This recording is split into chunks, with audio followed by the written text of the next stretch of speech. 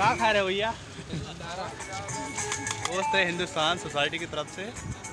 यहाँ पे भंडारा हो रहा है। और हलवा वितरित हो रहा है। खा रहे भैया?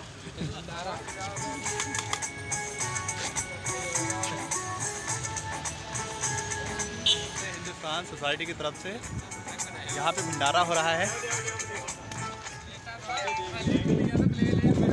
और हलवा वितरित हो रहा है। कहाँ खा रहे भैया?